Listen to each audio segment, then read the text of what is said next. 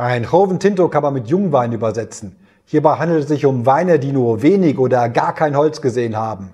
Die Vigna Olabari erzeugt meines Erachtens nach vielleicht den besten Jungwein der Rioja und das dazu noch in Bio-Qualität.